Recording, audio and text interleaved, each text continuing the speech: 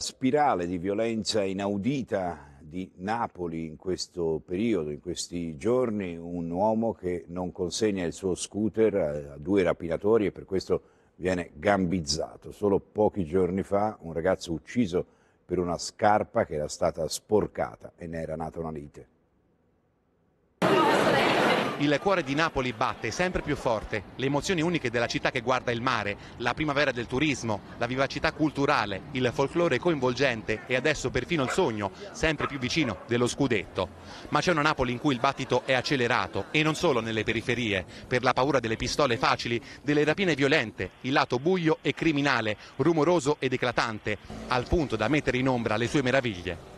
Un video descrive più di mille parole la situazione. Mercoledì sera, ora di cena, un ingegnere di 32 anni sul suo scooter si ferma a fare benzina. Lo affiancano in due su un altro motorino. Gli intimano di scendere dal mezzo per portarglielo via e di fronte alla resistenza decisa del proprietario tirano fuori la pistola e gli sparano alla gamba che ha rischiato di perdere.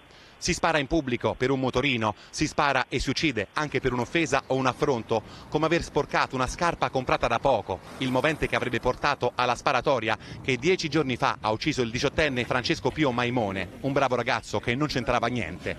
Troppo facile procurarsi un'arma, ha detto solo pochi giorni fa il prefetto di Napoli. Si stima che ce ne siano almeno 15.000, la metà circa detenute illegalmente. Troppe pistole in città per acquistarne una sul mercato nero possono bastare 1500 euro. Armi che servono alla camorra per comandare, per gestire le piazze di spaccio, per regolare i conti, ma che spesso se le portano dietro pure i ragazzini per sentirsi importanti macchie su una tela di inestimabile valore con dipinta Napoli, che negli occhi di chi la visita splende è in fermento per ciò che di bello sta vivendo, un rinascimento anche calcistico che si respira nelle vie popolari e affollate di azzurro. Il colore che si trova ovunque a vestire foto, magliette e bandiere che sventolano in attesa del terzo scudetto.